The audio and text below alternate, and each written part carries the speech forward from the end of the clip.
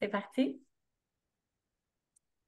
Salut à vous toutes, salut à vous tous. Alors aujourd'hui, je suis ravie.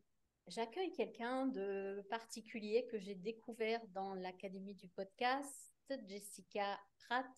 Alors j'ai mes petites notes là, ne m'en veuillez pas si je tourne un petit peu la tête, après ce sera beaucoup plus naturel, on va se laisser porter.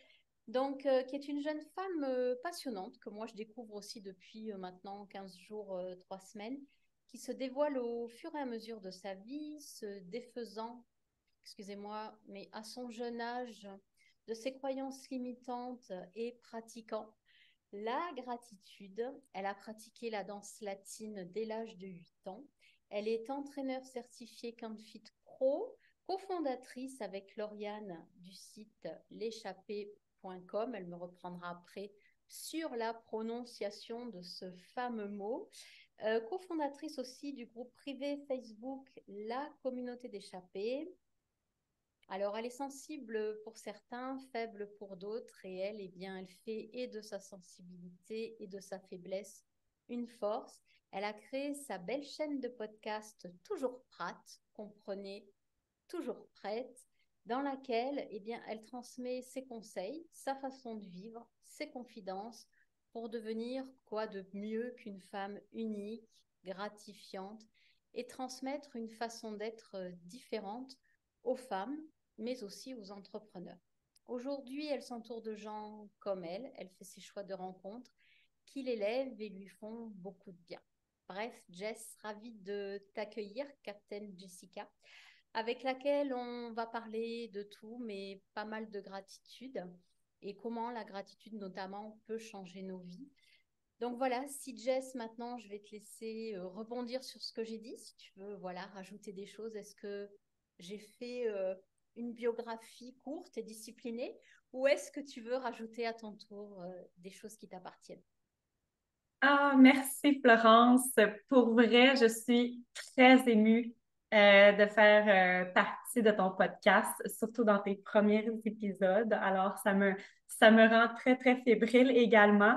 Euh, en tant que Captain Jess, je suis très, très fière et, et heureuse d'être ici là, et fière de toi. Merci, merci, merci. oui, j'ai envie d'ajouter en fait que la, la, prononciation au Québec, qu'est-ce que c'est les shapés? Donc, donc, je voulais juste préciser ici, en fait, que c'est euh, l'anglicisme euh, shape. Donc, quand on parle d'une shape, ça veut dire une forme. Et au Québec, on va souvent euh, prendre les noms et les, les mettre en verbe. Donc, on va dire, par exemple, justement, une shape, une femme ou un homme est en shape, alors c'est quelqu'un de shapé. Alors, euh, c'est ça, c'est pour ça qu'on a dit les shapés au féminin parce qu'on s'adresse aux femmes, euh, les femmes occupées, euh, qui n'ont pas beaucoup de temps. On veut surtout déconstruire les croyances limitantes qu'il faut s'entraîner longtemps pour pouvoir avoir une santé physique, une bonne santé physique en fait. Donc, voilà, je voulais préciser là-dessus. J'ai 36 ans et euh, oui, la gratitude fait partie de ma vie depuis très longtemps. J'ai commencé euh, tout ce qui est développement personnel, croissance personnelle à l'âge de 17 ans et euh, j'adore et j'adore. C'est passionnant pour moi, ça fait partie intégrante de ma vie. Alors, ça me fait super plaisir de parler de ça aujourd'hui parce que c'est un sujet qui est d'actualité dans ma vie, mais aussi que j'adore en discuter, en discuter, pardon. Donc, euh, allons-y, allons-y, je suis prête. bah écoute, super, mais moi, tu vois, ce qui m'interpelle, c'est comment une jeune euh, ado qui rentre à peine dans l'âge adulte à 17 ans, euh, quel, est, je sais pas, tu vois, le lien ou bien l'événement qui t'a fait tomber dans la gratitude si jeune en fait? Parce que moi, tu vois, à l'écoute, je me dis waouh, si tout le monde à l'âge de 17 ans pouvait prendre euh, ce chemin de la gratitude, mais ça serait mais tellement chouette. Donc, euh, comment tu as fait pour, euh, à l'âge de 17 ans? Qu'est-ce qui t'a. T'as Astérix qui est venu et puis qui t'a pris et t'a amené dans le chaudron de la gratitude? Dans le chaudron de la gratitude. J'aime ça. Ah, c'est bon. Hum, c'était ma mère. parce que quand j'étais quand j'étais plus jeune, on a eu quand même une, euh, une on avait j'ai une famille particulière et euh, il m'a fallu vraiment rester forte et solide à travers mon cheminement de jeunesse, on va dire. Et euh, je me considère comme un papillon qui n'a pas eu trop d'adolescence. Donc, je suis passée rapidement à celle qui avait des responsabilités, celle qui devait prendre soin de, sa famille, celle qui devait vraiment mettre, euh, mettre la main à la pâte pour pouvoir être, euh, avoir un esprit sain et un corps euh, solide. Donc, c'est à 17 ans, ma mère, elle suivait des cours ici au Québec, est un, un cours comme une formation qui s'appelle Sylva Bergeron, qui n'existe plus aujourd'hui, je pense, mais elle m'a apporté dans un dans, cette, dans cet événement-là. Et à ce moment-là, j'étais comme, mais qu'est-ce que je fais ici? je me suis vraiment posé la question, c'est quoi ce, cette affaire-là, on va dire? Et euh, c'était dans un sous-sol d'église. Et euh, c'était un homme qui était comme sur un stage, un peu, euh, on aurait dit une secte, mais ça ne l'était pas, n'inquiétez-vous pas. Mais il y avait un côté théorie et un côté pratique. Donc, une partie de la, séance, ça durait trois heures. La partie de la, une partie théorique de la séance, euh, il expliquait c'est quoi justement la gratitude, comment euh, bien vivre au quotidien, avoir un mindset, un, état d'esprit vraiment solide, efficace, comment bien partager et toutes les belles qualités qu'on peut avoir euh, à travers nos relations. Et il y avait la partie pratique. Et là, nous, ils nous faisaient monter sur le, sur le stage et on devait faire des activités incroyables. Je, je, je n'aurais jamais pensé faire ça un jour. Et euh, c'était assez spécial, mais ça a vraiment changé ma vie et ma perception. Et c'est là que j'ai décidé d'en faire plus parce que j'avais aimé la personne que je devenais à ce moment-là. Donc, c'est comme ça que ça a commencé, en fait. super. Et du coup, dans ton quotidien, euh, comment toi, tu, arrives à, manifester de la gratitude. Déjà, est-ce que tu repères, je ne sais pas, quand on a nos pensées qui nous emmènent dans une histoire euh, complètement abracadabrante, mais qui est cette histoire-là du moment, c'est-à-dire euh, pas évidente à digérer, pas évidente à penser, euh, comment toi, dans ton quotidien, ben, bah, voilà, tu pratiques ta gratitude? Parce que je pense qu'on a toutes et tous une façon différente de pratiquer euh, la gratitude. C'est ça qui rend, je pense, aussi magique euh, le fait de se dire que chacun, chacune va avec son expérience et puis ce qu'elle découvre sur son chemin, ben, mettre en lumière quelque chose qui lui va bien à elle. Donc moi, je suis toujours curieuse d'écouter comment les autres font, qui n'est pas du tout comme je fais moi en fait. Non. Euh, je, vais, je vais te retourner la question par la suite parce que je suis curieuse de savoir comment toi tu fais aussi, qui n'est pas la même que moi, comme tu disais, ou les autres. Donc, euh, moi, j'ai envie de donner trois, trois clés. Et euh, cette, cette, première clé, ça fait partie de ta question. Comment je fais pour pratiquer la gratitude à mon, dans mon quotidien? c'est avec un livre que j'ai découvert il y a peut-être un an à peu près. Euh, c'est sûr que c'est différent avant, mais plus, plus aujourd'hui qu'auparavant, je, la pratique, euh, la gratitude. Et donc, ce livre-là s'appelle La magie. Euh, je ne sais pas si tu connais, toi, Florence, est-ce que ça dit quelque chose? Non? Je vous conseille à tous de lire ce livre. Sincèrement, Noté. Donc, la magie. Et le nom de la personne, c'est Rhonda Byrne. Donc, euh, il est en français et en anglais. Rhonda, c'est R-H-O-N-D-A. On pourra mettre euh, le nom et tout ça en commentaire dans, le, dans, le, dans la description. Donc, ce livre-là, c'est un livre qui n'est pas un, qui ne se lit pas comme, comme à l'habitude. Donc, ce n'est pas un livre qu'on passe au travers quand on a du temps. Euh, c'est vraiment 28 jours et il y a une petite, une petite action à faire à chaque jour pour garder euh, justement cet état d'esprit-là dans la gratitude. Alors, chaque jour, il y a un petit truc à faire et ça change vraiment la perception de notre quotidien. Et euh, par exemple, je veux juste donner un exemple d'un, d'une petite action que j'ai faite qui a vraiment marqué mon cheminement. Et c'est un matin, tu te lèves et dès ton premier pas au sol, c'est de dire merci.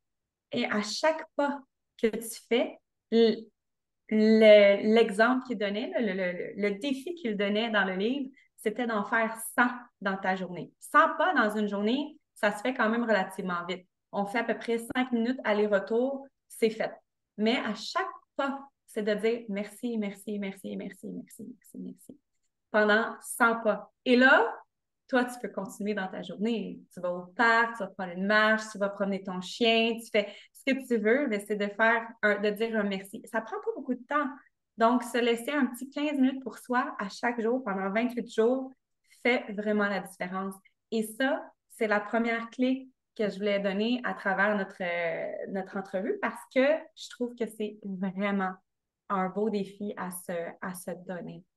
Et donc, euh, voilà, moi, ça a été ça comme mon, euh, mon transfert et ma transformation à la manifestation d'une euh, d'une vie meilleure, on va dire. Ça a l'air cliché, là, mais c'est vrai, en fait. Ça a vraiment fait une belle différence dans toutes mes difficultés que j'ai vécues dans les dernières semaines, dans tout ce, que, tout ce qui, qui s'est produit euh, dernièrement. Il y a eu beaucoup de changements dans ma vie, ce qui fait que j'ai, je, je me suis découvert j'ai découvert en fait que c'était beaucoup plus simple qu'on pense.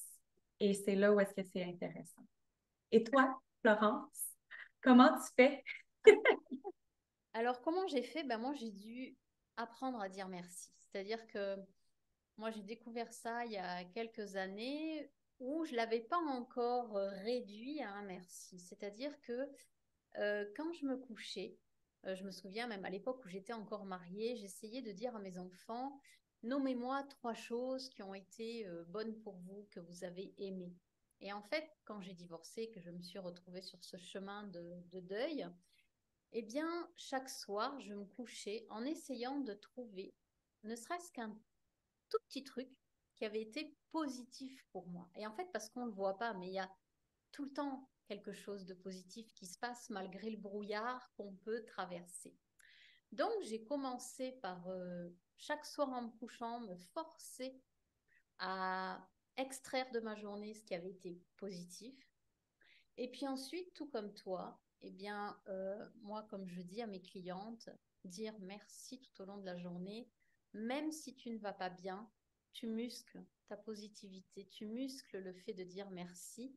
Et puis un jour, tu vas te retrouver à regarder un ciel magnifiquement bleu et à juste dire waouh, ah, mais qu'est-ce que c'est beau, merci. Incroyable. Donc en fait, dire merci du matin au soir, même si des fois on n'y pense plus, on revient, même si on ne va pas bien, et eh ben à un moment donné, ben, tu fonctionnes quasiment plus que comme ça. C'est-à-dire, euh, ben, il t'arrive un truc. Des fois, quand il arrive quelque chose de difficile, on n'a pas forcément tout de suite, euh, tu vois, l'état d'esprit de dire, on va dire merci. Mm. Donc, on laisse passer l'orage. Et puis après, se dire, ouf, Merci de m'avoir amené cette épreuve aussi parce que j'ai réussi à la traverser. Par contre, moi, tu m'avais dit trois clés. J'ai l'impression qu'il y en a qu'une. Ou c'est moi qui me suis trompée? Oui. Non, non. On commence par une. il y en a deux, oui, il y en a deux autres. Mais avant qu'on poursuive, je vais juste te montrer une des, une des je, vais, je vais aussi le nommer, là, mais une des activités, une des actions qu'il nous avait demandé aussi, c'est de faire un chèque. Ah oui. OK pour le, le pour l'avoir visuellement devant soi. Donc, le chèque, je me suis, je me suis pris un chèque à moi-même. J'ai marqué la banque de, la gratitude de l'univers en haut. J'ai fait comme ils m'ont dit. Et c'était de, de, mettre un montant d'une activité ou d'un objectif que tu veux réaliser prochainement. Mm. Donc, euh, j'aimerais réorganiser mon. Euh, je veux réorganiser mon appartement. Euh, donc, voilà, je me suis fait mon chèque. Donc, c'est tous des petits détails, hein? Oui. Et après, juste avant que tu passes à ta deuxième clé, moi, je voulais juste rajouter que c'est pas forcément attendre que des grandes choses se produisent. C'est-à-dire que ça peut être, euh, comme je disais, voilà, il y a un ciel qui est bleu, dire merci. Il y a un livreur qui va livrer une commande et puis qui va arriver avec le smile jusque-là, dire merci. Euh, ce même livreur ou un autre va te livrer la commande juste devant chez toi, dire merci. Et en fait, c'est au plus on muscle ça, mais tout le temps, au plus, on a, il arrive à soi des choses, mais complètement magiques en fait.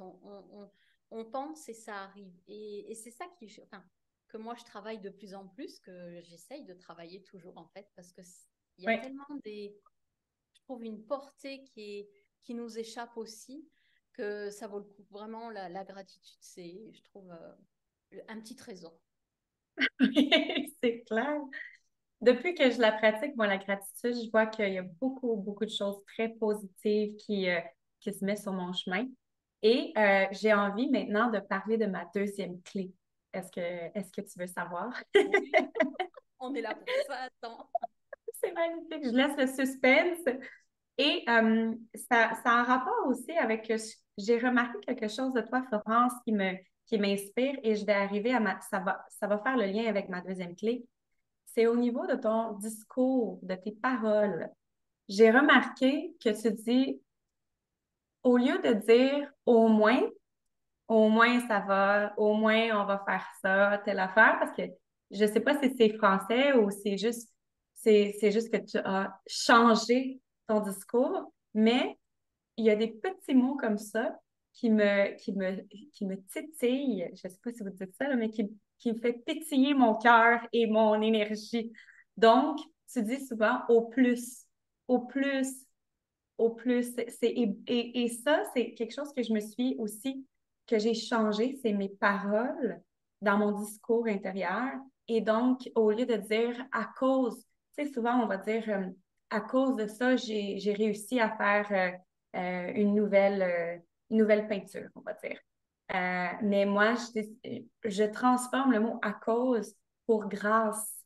C'est grâce à mes talents ou grâce à telle situation qui m'ont apporté à finaliser ma peinture. Donc, il y a des petits mots comme ça qui changent tout. Tu es d'accord? Ah, tellement. Mais maintenant que tu le dis, oui. Oui, oui, c'est vrai. C'est vrai, on ne s'en rend pas compte, mais tu as tellement raison en fait. Oui, et là, ça m'amène à, mon, à, mon, à ma deuxième clé, qui est l'écriture. Comment ça m'a, qu'est-ce qui m'a permis justement de mettre la gratitude dans ma vie? C'est de réaliser à quel point mon discours intérieur était, euh, on va dire, euh, dégradant. C'est très, euh, très noir. Et avec l'écriture, au lieu d'aller vomir mes sentiments chez les autres, je les intériorisais dans mon, dans mon cahier. Et ça m'a fait évoluer énormément. Donc, ça peut être, mon cahier est devenu mon confident. C'est lui qui m'a permis de voir mon discours et de le changer également. Alors, aujourd'hui, euh, et depuis 2011, maintenant on est en 2023, j'écris presque à tous les jours euh, dans mes cahiers et j'en ai tout plein parce que c'est mon moyen de communiquer et de sortir justement le méchant pour pouvoir le transformer. Et dans mon livre, je vais écrire autant des bonnes que des moins bonnes choses, que euh, des gratitudes, que euh, ce que j'aime faire aussi, c'est d'écrire qu'est-ce que j'ai envie qu'il se réalise comme si c'était déjà fait. Et ça, là, c'est ma, c'est ma partie préférée. Donc, ça m'arrive des fois d'écrire ce que j'ai envie de réaliser, mais comme si c'était déjà fait. Comme par exemple, moi, j'ai envie d'avoir un jour une grande maison blanche sur le bord de la mer avec des rideaux qui volent au vent, avec mon amoureux, euh, mon copain qui vient m'apporter mon café sur le bord de la fenêtre. mais je fais comme si c'était déjà ça. Et ça me fait tellement bien ça part ma journée sur un, sur un clin d'œil positif. Et euh, également, je fais euh, régulièrement de la méditation guidée. Donc, ça se joint un peu tout ça mélangé ensemble. Des fois, c'est l'écriture, des fois, c'est la méditation, des fois, c'est les deux. Et ça me fait vraiment beaucoup de bien. Ah, Donc, ça, c'est ma deuxième clé. Est-ce que tu en fais de la méditation, d'écriture, toi, Florence? Alors, moi, je, oui, je, je, médite beaucoup sous différentes formes, pas particulièrement de façon régulière, parce que je trouve différentes, euh, comment dire, réponses à la méditation. Ça peut être la méditation en pleine conscience, la méditation intégrative, euh, celle du docteur Joe Dispenza aussi. Ça va dépendre de, de, de quoi j'ai besoin. Moi, j'ai besoin en ce moment d'élever de plus en plus mon énergie. Mm. Et moi, en réponse à toi, donc l'écriture, moi j'ai déjà écrit un livre, mais je j'ai du mal à, à me dire j'écris tous les jours. Par contre, euh, moi c'est plus en, en pensée, c'est-à-dire que moi plutôt que d'écrire qu'est-ce que je veux qui m'arrive, bien sûr que je réfléchis à ce que je veux qui m'arrive, et quand je vois que ça m'arrive, je fais waouh génial, c'est vrai que ça marche. Mais par contre, moi il y a quelque chose que je oh, que j'adore c'est excitant. J'ai hâte de savoir. C'est l'inconnu, c'est-à-dire ne pas savoir ce qui va m'arriver. Je pars hein, où je me dis ben je veux aller vers euh, un cheminer. ça peut être une balade avec mon chien, ça peut être euh, je vais faire mes courses ou bien j'ai j'ai pas d'idée où je vais, mais je vais laisser faire l'univers, je vais voir ce qu'il va mettre sur ma route. Et donc, essayer d'être le plus possible ouverte aux signaux qui m'arrivent, euh, ou bien peut-être aux personnes que je vais croiser, ou bien moi-même m'arrêter pour discuter avec des inconnus, euh, des personnes âgées, des enfants, des personnes qui ont des chiens.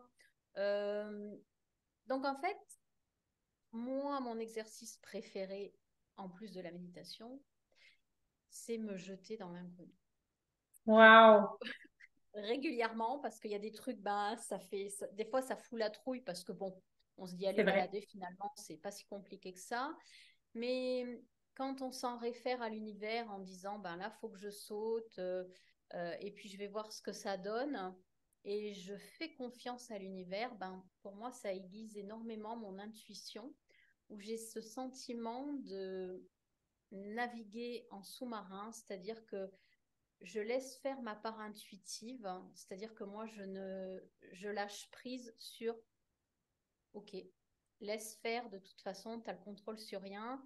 Et donc, je m'exerce beaucoup à ça, parce que c'est vraiment, euh, c'est pas évident, mais euh, c'est... vrai, hein? Ouais. C'est à quelque part épeurant. Ouais, pour vrai, là, tu m'as donné cette idée, j'ai envie de l'essayer. C'est sûr que je fais ça. C'est sûr. Moi, je ne sais plus, là, pour te donner un petit exemple, euh, tu vois, j'ai racheté un micro d'occasion, puis j'ai dit, bon, on était le 24 juillet, je fais, D'ici fin juillet, je vends mon micro que j'ai actuellement, mon ancien aspirateur Dyson et tout ça, tu sais quoi? Avant la fin du mois. Hier, j'avais vendu les deux. wow. Et hier étant le mois de juillet.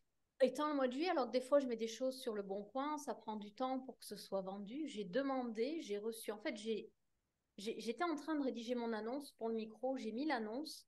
J'étais en train de faire un autre mail, je me suis dit, imagine, tu reçois comme quoi ton micro, il est vendu. Je reçois dans mon mail, micro vendu. Tu vois, tu fais,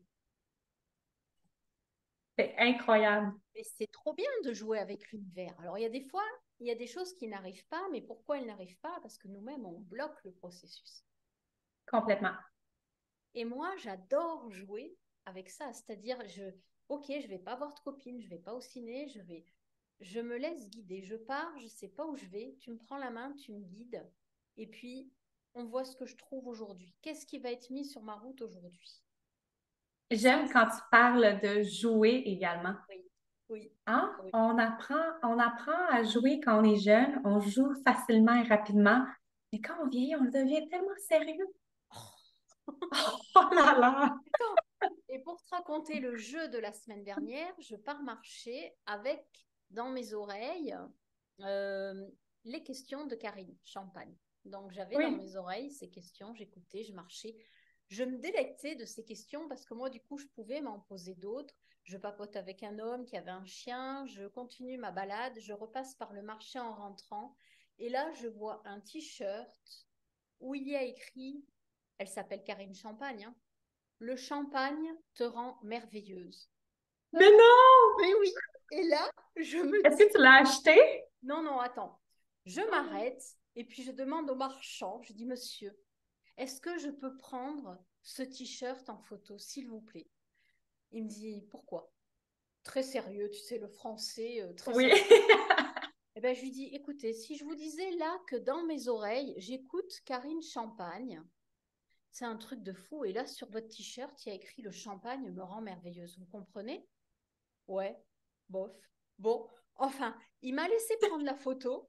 Et là, j'ai posté, j'ai mis en story, j'ai tagué Karine, j'ai dit regarde un peu ça, les coïncidences de la vie. C'est. Oh, mais moi, je trouve que quand on se C'est bon.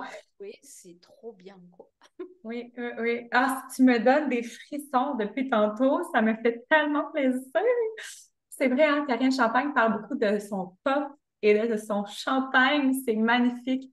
Et wow, quelle coïncidence. Et tu vois, ça m'amène à parler de ma troisième clé et c'est le plaisir. Tu vois, il n'y en a pas de coïncidence aujourd'hui. Il y en a, en fait. C'est très drôle, je veux dire. Moi, ma troisième clé, c'est ce que j'allais, j'allais dire, c'est d'avoir du plaisir et arrêter de se prendre au sérieux. De mettre des jeux, jouer. Et tu vois, quand on joue avec, avec la vie, quand on, remercie, quand on joue avec justement ce que la vie nous, nous met sur notre chemin, que ce soit bien ou moins bien, mais c'est, là parce qu'on est capable de passer au travers. La vie nous amène parce qu'on est capable de passer au travers, tu. Et notre moment présent, on l'oublie souvent, très, très souvent.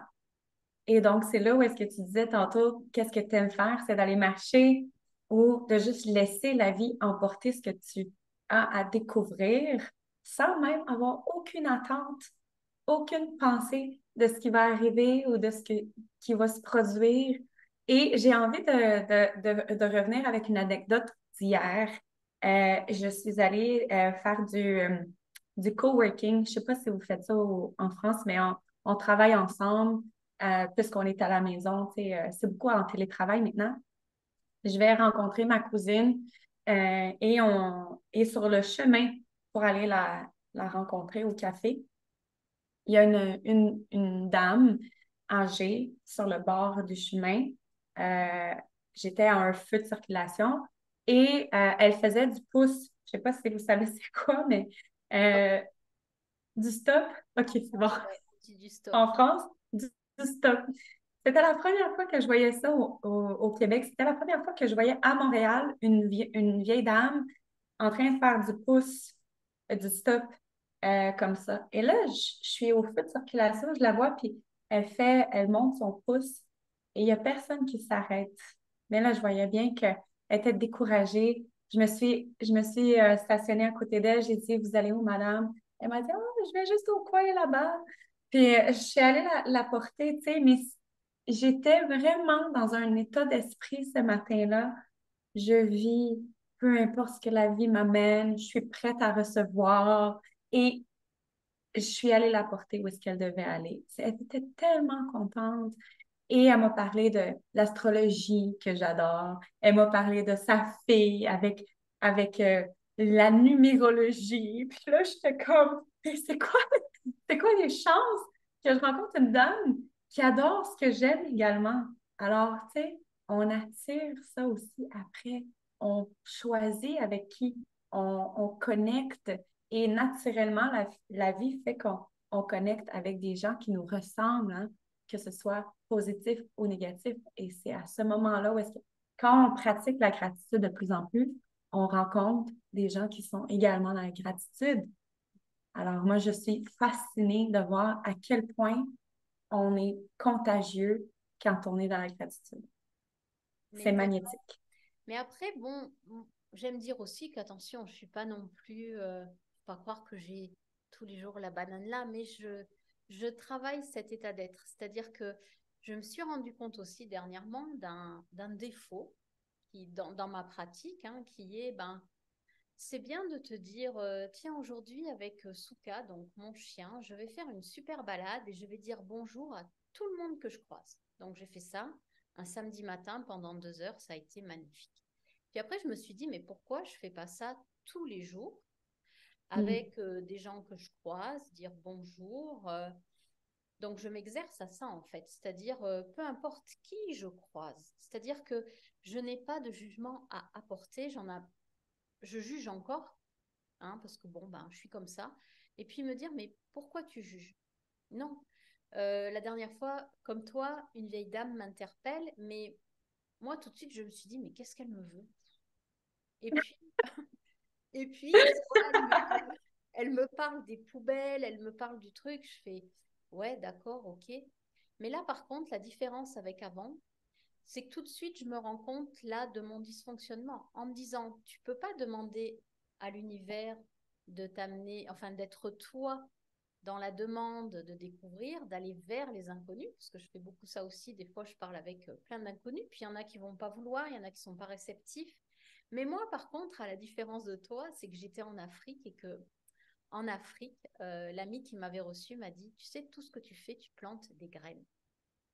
Donc, même si le retour n'est pas positif, je plante des graines. Mais par contre, ce que je travaille de plus en plus, c'est me dire, les gens qui arrivent à toi, peu importe comment ils sont, SDF, vieille dame, euh, pas comme toi tu le souhaiterais, accueille-les aussi.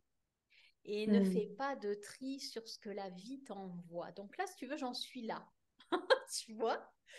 À essayer de ne pas trier quand quelqu'un m'interpelle. C'est un beau défi. Tu vois Du style, si pas Georges Clooney ou Brad Pitt, s'il vous plaît, ne me parlez pas. En fait, moi, j'ai pris l'habitude d'aborder n'importe qui, n'importe comment. Quand je le sens, toujours avec bienveillance, euh, peu importe la thématique que je vais choisir. Mais je me suis rendu compte que quand on s'adressait à moi, eh mm. ben, je mettais, tu vois, une certaine barrière. Donc là, je suis en train de travailler ça, c'est-à-dire que je laisse arriver à moi les gens qui veulent s'adresser à moi aussi, tu vois. Je pense que c'est ça aussi la richesse de l'inconnu, se dire euh, la vie, cette vieille dame en plus, euh, elle m'a trop fait penser à ma grand-mère qui faisait du stop quand j'étais avec elle pour se faire conduire parce qu'elle conduisait pas. Et euh, tu te rends compte le souvenir là que tu viens de faire émerger Oui et du coup, euh, je pense que ça, ça peut être vraiment chouette, vraiment de se laisser happer par toutes les formes de vie, peu importe si c'est, euh, moi je me souviens, dans ma rue souvent j'ai un SDF, ben je change de trottoir et là j'ai appris à pas changer de trottoir, à me dire ben, tu le croises. Et puis quoi, c'est un être humain, c'est euh, il est qui il est, mais au fond de lui, il a quand même quelque chose qui est à lui et qui fait sens pour lui. Donc, je suis dans ce défi-là aujourd'hui, tu vois, d'accueillir aussi ce qu'on m'envoie.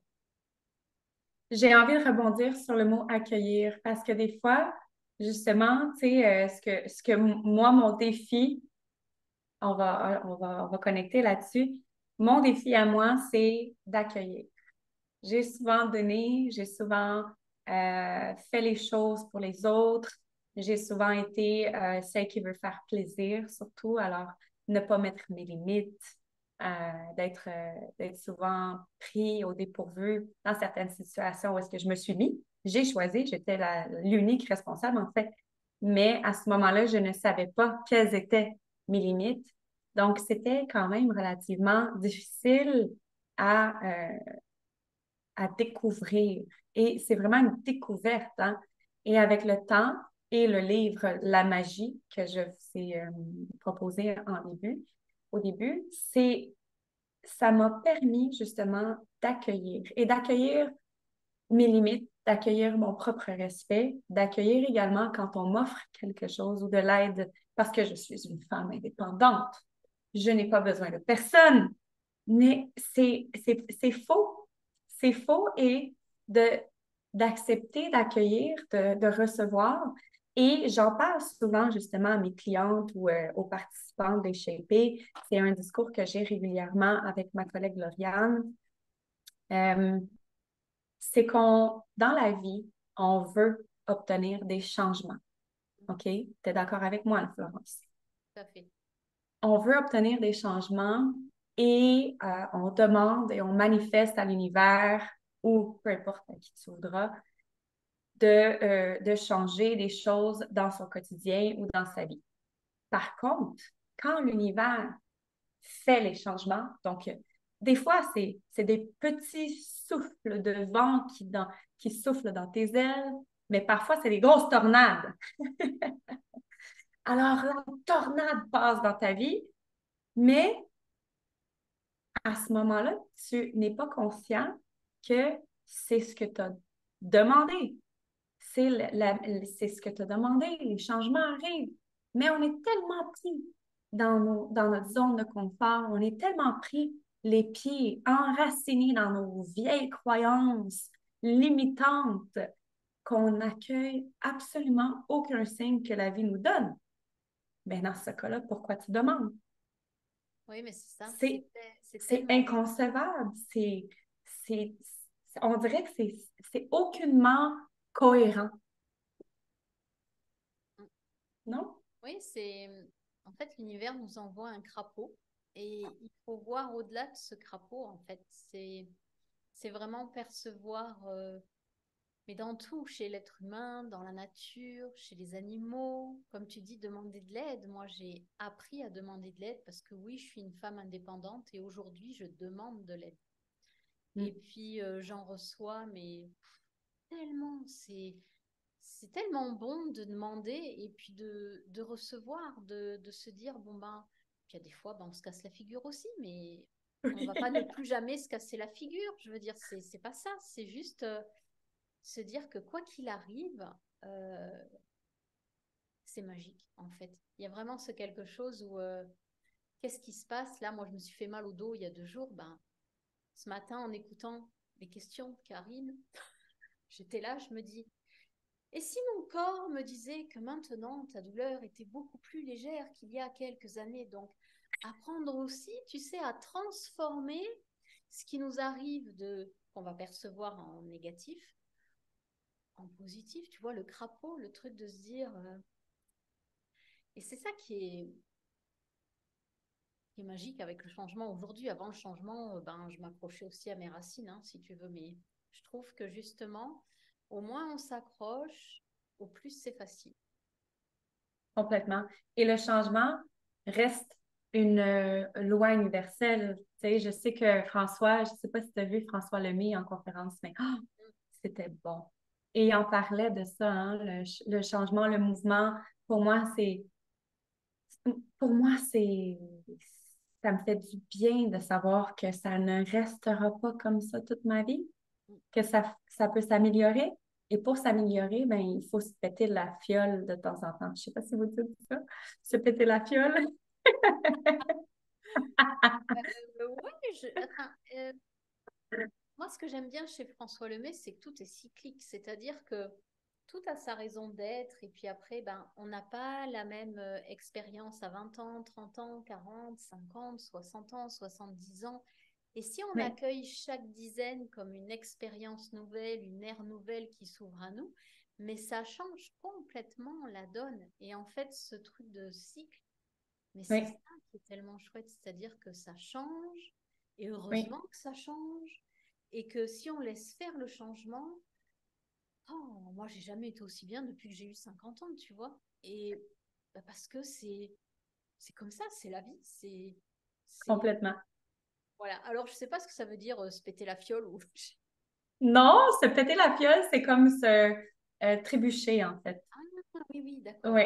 Quand on, euh, quand on trébuche, on se relève. donc, se péter la fiole, et c'est la fiole, c'est comme le visage dans un sens. Hein on est vulgaire un petit peu.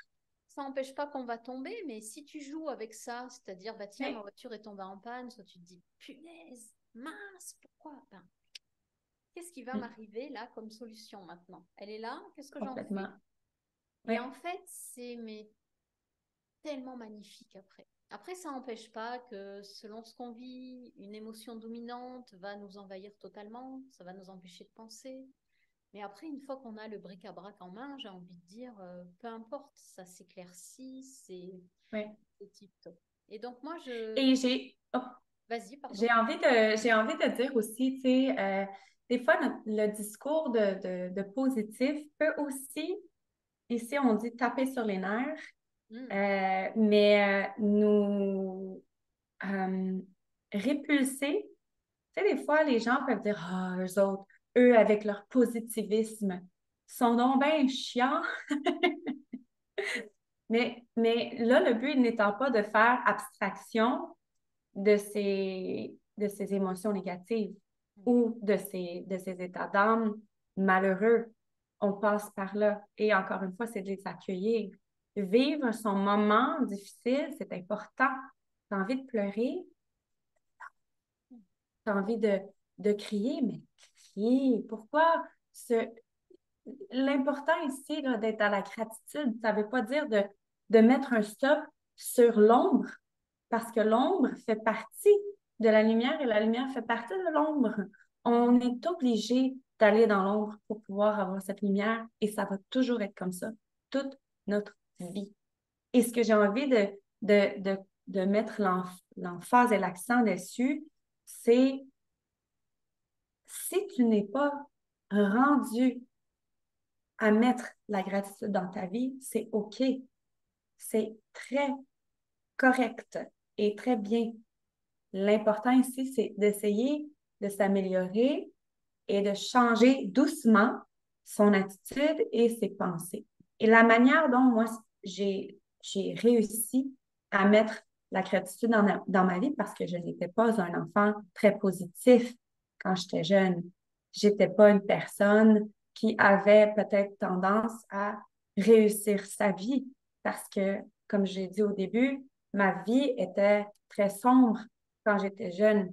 Il a fallu vraiment que je travaille sur ma personne, mes pensées. Et ça a été long, difficile, et encore aujourd'hui, j'ai des rechutes parce que ça fait partie de ma vie. Mais ce qui m'a aidé, c'était de transformer doucement et tranquillement mes mots. C'est-à-dire, au lieu de faire semblant que tu vis une émotion positive, par exemple, euh, faire semblant que tu es heureux aujourd'hui alors que ta vie, euh, c'est de la merde aujourd'hui. aujourd'hui, ta vie, c'est de la merde. Mais ben, de dire, je vais me sentir de mieux en mieux. Au lieu de dire, je me sens bien et faire semblant que tu te sens bien. Non, c'est contradictoire avec ton sentiment intérieur. Quand tu es dans la dualité ou quand tu es dans la contradiction avec ce que tu vis intérieurement, c'est impossible d'être en cohérence avec ce que tu vis ou ce que tu veux ou ce que tu désires. Cependant, si tu te dis, je vais être de mieux en mieux, et c'est là où les mots font toute la différence, je, me sens de plus en plus euh, belle parce que des fois, les femmes peuvent se dire, oh non, aujourd'hui, je me sens pas bien, nanani, nanana, et on continue comme ça. Mais au lieu de dire, au lieu de, de partir dans son, dans son esprit fermé, dans ses croyances, hop, on change. Et là, on dit, je me sens de mieux en mieux. Je me sens de plus en plus rayonnante. Je me sens de plus en plus pétillante. Et c'est là où est-ce que ça change, doucement, mais sûrement. Je vous le dis, ça fonctionne. ah oui, oui, ça, je suis tout à fait. Après, ça devient, je trouve, un, un exercice de jonglerie. On jongle. Et moi, hier soir, je sais plus, je, ne sais plus dans quoi j'étais. J'étais dans un truc bizarre.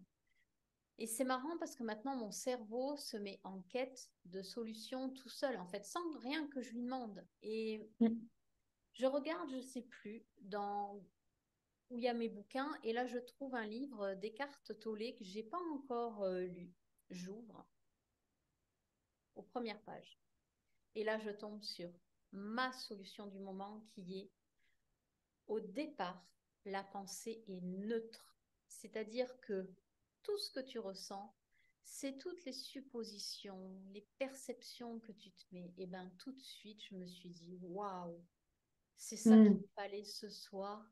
Là, ma pensée est neutre.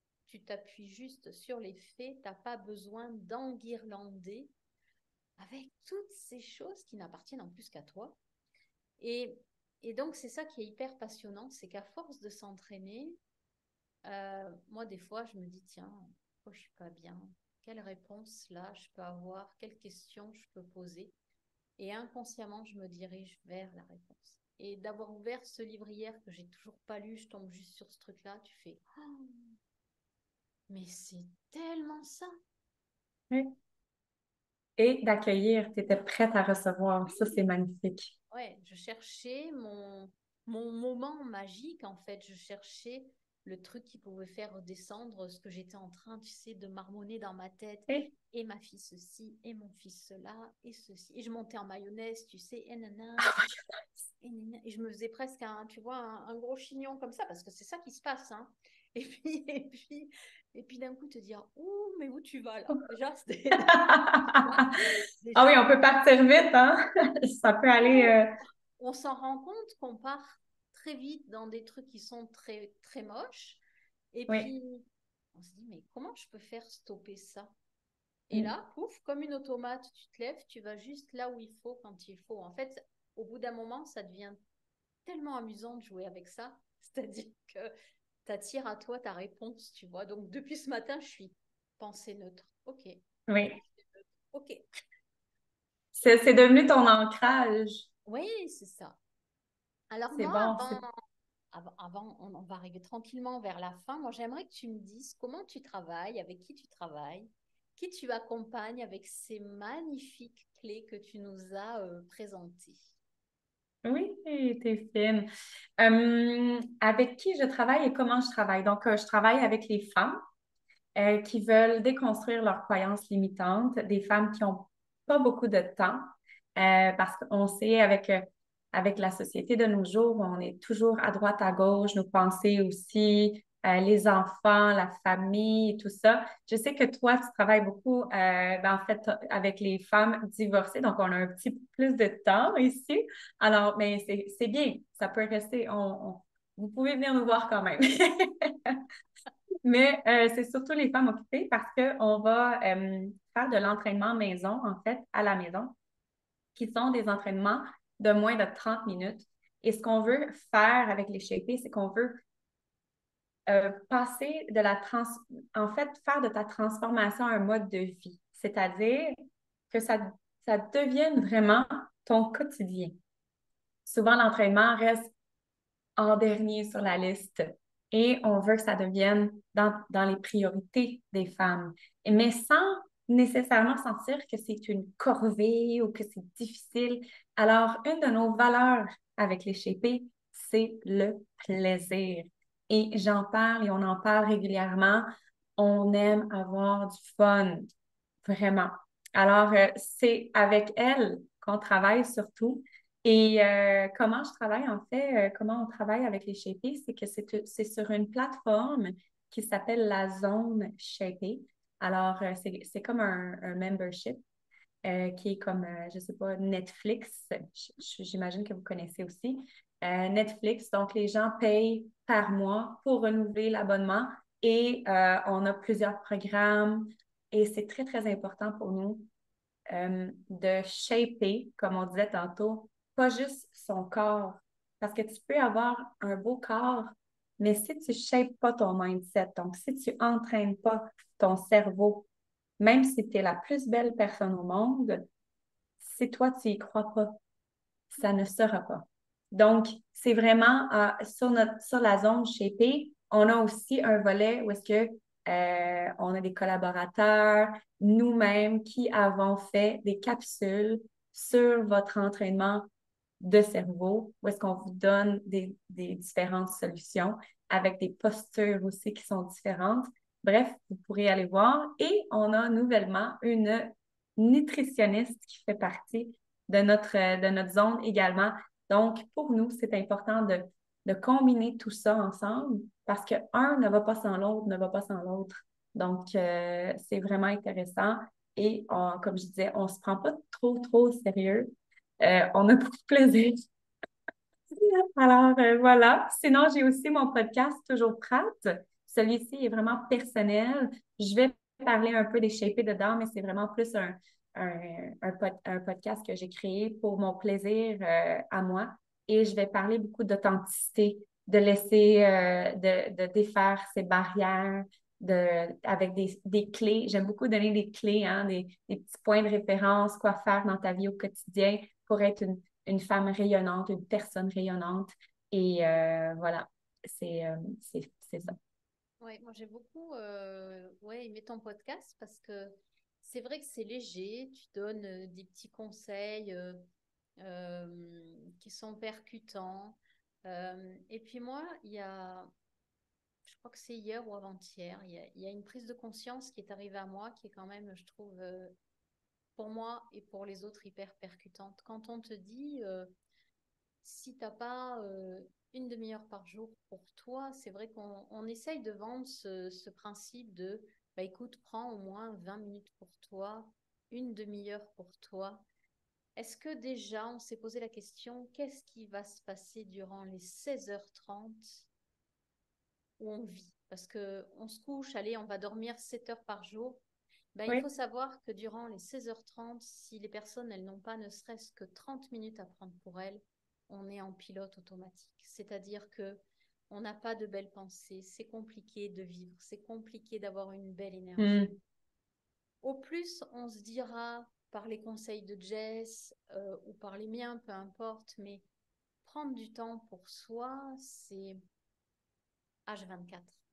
Que ce soit par les, les pensées, comme tu disais, merci, merci, merci, on peut des fois se rappeler que juste se dire merci, merci, merci, ça peut être à tout moment de la journée. Euh, moi, je, vais, je, serais curieuse, voilà, parce que comme tu dis, le sport ou s'entretenir physiquement, ben, moi aussi, je le fais de chez moi, mais j'ai envie de dire, si ça, on ne le fait pas pour soi, ça contribue à notre mieux-être, à notre bien-être. Et dites-vous que euh, au plus on se dit, ben, je fais ça pour moi, ou je mets des merci, merci, merci mhm. un peu tout au long de ma journée, je fais mes 30 minutes d'exercice physique, et eh ben tout ça va contribuer qu'à un moment donné, les 17 heures où on est éveillé, et eh ben on sera de mieux en mieux, hein, puisqu'on joue avec les mots. Oui. on sera de mieux en mieux avec nous, mais aussi avec les autres. C'est ça qui est complètement hyper important. Complètement. Et j'ai envie de dire aussi, euh, j'ai eu une prise de conscience euh, et pour de mon côté, mon ancrage maintenant, c'est, je ne sais pas à qui j'ai dit ça aussi, c'est quelqu'un qui, je me souviens plus où j'ai entendu le tout, mais si par exemple, on prend une moyenne d'âge euh, de notre espérance de vie, on va dire 80. On met, on met un chiffron, 80 ans. On va dire que j'ai 40. Ça veut dire qu'il me reste 40 ans à vivre. Et pour aller à ma retraite, j'espère être à la retraite vers 60, on va dire. Je ne sais pas qu'est-ce qui va arriver après, je ne sais pas qu'est-ce qui va arriver avant, mais si je veux vraiment profiter de ma vie au grand complet, si je, calcule au nombre d'étés qui restent, je me dis, oh, il me reste seulement 40 étés. Et là, excusez-moi. Mais avoue que ça fait différent.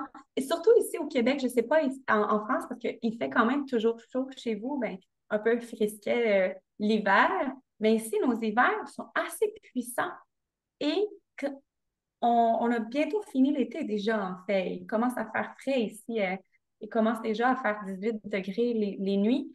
Hum, je veux dire, l'été nous, nous en tout et partout, peut-être un trois mois sur 12, mais vraiment juste été, on parle avec on enlève la pluie, on enlève la neige, on enlève tout ce qui vient avec.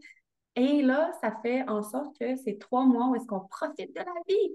Ben, il, y a, les autres saisons quand même, mais ça, ça, me fait voir que, encore une fois, j'ai la gratitude pour les étés qui passent au Québec, d'avoir autant de temps devant moi, de pouvoir me dire, maintenant, c'est quoi mes réalisations? Qu'est-ce que j'ai envie de vivre pour les 40 prochains étés? Alors, euh, j'ai envie de, de terminer ou de, de finaliser là-dessus parce que je trouve que c'est important de se poser la question. Oui. Je crois que c'est Martin aussi, la tulipe, qui disait euh, Combien de printemps il me reste donc, je crois qu'on a, on ramène tous à une saison. Combien, moi, je me dis plus combien d'années, comme ça, je vis toutes les saisons. Euh, oui. Voilà, mais dans ma tête, euh, moi, je me vois bien vivre encore 30 euh, ans ou 40 ans, comme je fais des projets avec, comme Karine, en fait, comme tout le monde. On se dit, si on est de mieux en mieux avec soi, si on se découvre, comme tu dis, dans le plaisir, la magie, dans, dans toutes ces choses-là. Ben, on verra bien, mais ça va, ça va être très très chouette. Donc je vais te laisser euh, le mot de la fin, redire ben euh, voilà l'adresse de là où les gens peuvent aller euh, cliquer. Oui. C'est toi qui finis. D'accord, merci. Florence, pour vrai, c'était magnifique. J'apprécie notre moment ensemble. Je trouve que la conversation était fluide et j'adore parler de ça. Donc, merci de m'avoir invité. Euh, on peut me rejoindre euh, sur le site web www.lesshapé au féminin. Donc, c'est L-E-S-S-H-A-P-E-E-S.com. Donc, on pourra l'écrire aussi dans la description. Il y a également notre groupe privé Facebook qui s'appelle la communauté Shapé qui est avec des femmes extraordinaires, tellement engagées. Et euh, je suis heureuse de voir à quel point elles nous suivent depuis le début. Quand on a des femmes avec nous, elles continuent d'être avec nous. C'est ce qui est intéressant. Et euh, le podcast, toujours prête. Donc, euh, vous pourrez venir voir une saison 2 qui devrait arriver prochainement. Merci. Alors, un gros merci. De toute façon, je vais mettre tous les liens. Vous allez retrouver cette entrevue et en live sur ma chaîne YouTube et en podcast également euh, sur euh, la chaîne euh, de Jess, la mienne aussi. Donc n'hésitez pas à aller faire un saut, à aller l'écouter. Parce que moi j'aime dire que c'est toujours bien d'aller prendre les enseignements des autres. Parce que moi je sais que ça me complète beaucoup aujourd'hui qu'elles aient 36 ans, qu'elles en aient 50 que ce soit des hommes, que ce soit des femmes. Moi, j'aime prendre de chacun, de chacune, ce qu'il ou elle a de positif pour me l'accaparer pour moi, en fait, et le transformer en quelque chose de positif. Donc, n'hésitez pas à aller euh, vraiment visiter, écouter Jess, parce que, ben, elle est fun, et puis c'est chouette aussi. Donc, amusez-vous bien. Et puis, on se retrouve euh, très vite, soit pour une nouvelle entrevue, soit pour un nouveau podcast, soit pour un nouveau live ou un webinaire. Ciao, ciao. Bye.